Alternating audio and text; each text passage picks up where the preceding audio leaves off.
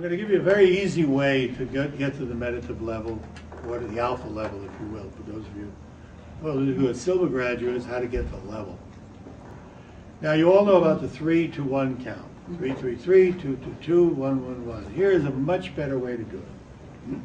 I Might say an advanced way to do it. Now, I was talking about mental volume. Now, you can do this mentally. I'm going to do it out loud.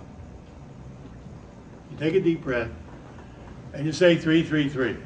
But you do it this way. Three, three, three. Another deep breath.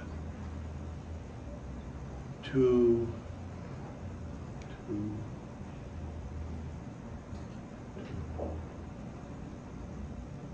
Another. One.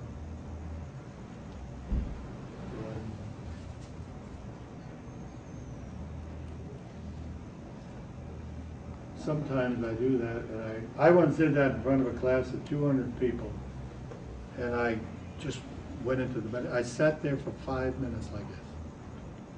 And nobody said a word. Everybody was fascinated. She's gone to sleep.